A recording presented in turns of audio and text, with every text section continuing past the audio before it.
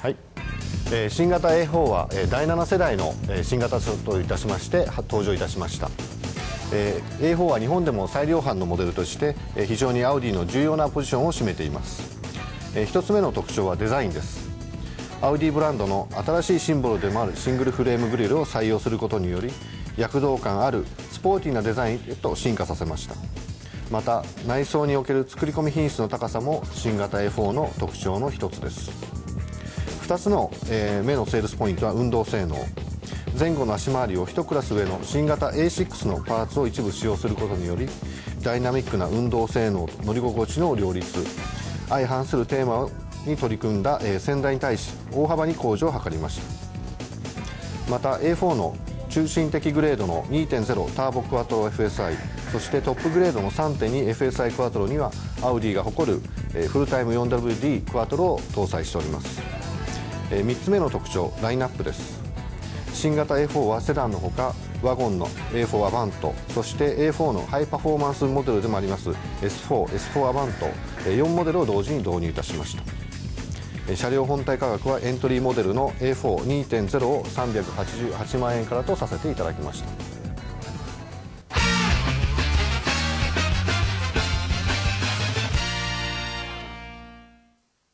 走り始めですね、もう街中でパッと乗って走り始めた時の、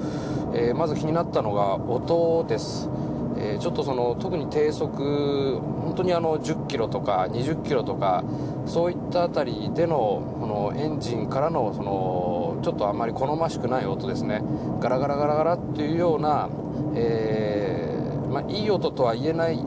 ノイズが、え聞こえてくる。これあの高速道路なんか来ちゃうと全く気にならなくなるんですけれども都内の渋滞一寸刻みでもう走っては止まり走っては止まりといったようなとこだとちょっと気になると思います。でそこら辺はやっぱりプレミアムクラスの、えーセダンとしては、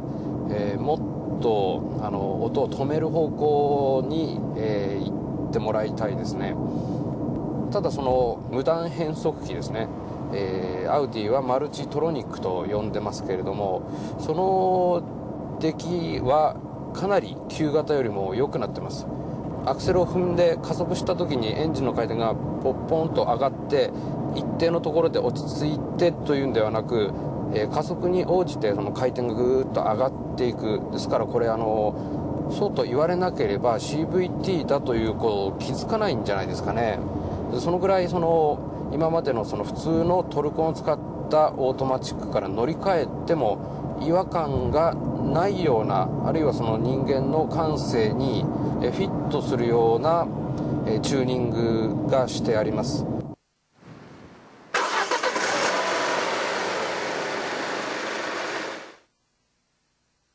今回のモデルチェンジで、えーまあ、エンジンなんかも大幅にラインナップが見直されているんですけれども実はこの今乗っている2リッターの、えー自然吸気の4気筒だけは、えー先代から受け継がれていると、えーいうことで、まあ、このエンジン自体は特に、え変わりはありません。でその動力性能に関しては、まあ、この2リッターっていうのが、まあ、この新しい A4 の中では一番安いグレードなんですが、まあ、はっきり言ってこれで十分だなという気がします、まあ、余裕を持って対応できると思います。えまあこうして動き出してみると足回りが結構変わってますね。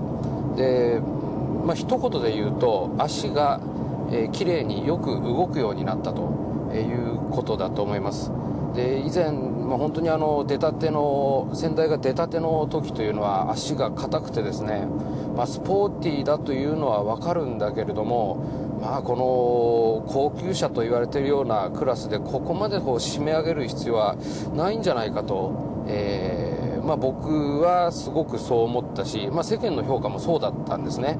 でそれに対してアウディが出してきた答えというのが、えーこの新型の足回り、えー今そうですねあの流れに乗って高速道路を走っていますけれども非常にゆったりとしてますしまあこれあのどちらかというと、えードイツ車としては割とそのしなやかソフトソフトな感じというのが強いです。路面のうねりなんかでは結構ゆったりとこう動く。で上下動の収まりが悪いなと思う方もいらっしゃるかもしれない。ただ僕が思うにはやっぱりあの普段乗りも含めてこのくらいのゆったり感の方が喜ばれると思いますしすごく乗ってて気持ちがいいですね。やっぱりこれあのクワトロではなくて FF だということで、え直進性が、えもう本当にこの際立っていいということはなくてただえー、じゃあそのちょろちょろするのかというとそんなことはなくて、えー、本当にあのセンターステアリングのセンターというのは結構どっしりと、あのしてますしあと切り始めの時のその微妙な車線内での数十センチ単位での修正だというのもすごくしやすい。FF の長所を、えー、出しながら、えー、短所を抑え込んでいると結構よくできていると思います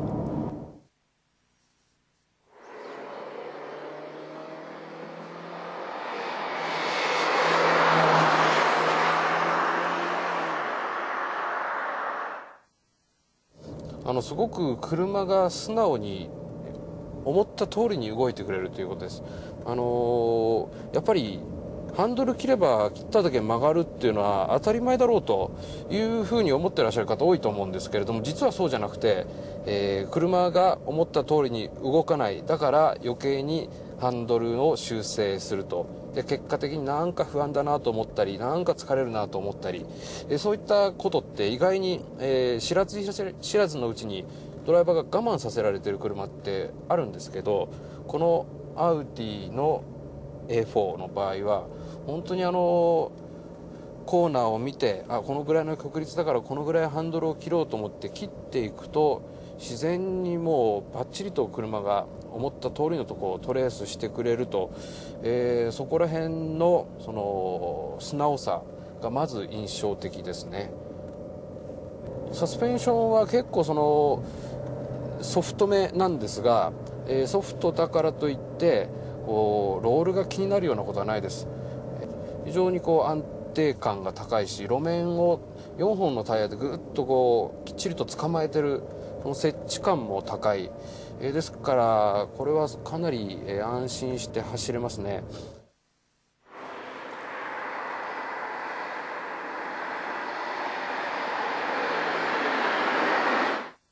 こういう晴れた日乾いた路面を走ってると FF であるということを、え直接意識させられることはないんですがただその四輪駆動クワトロと比べてしまうとクワトロの方が、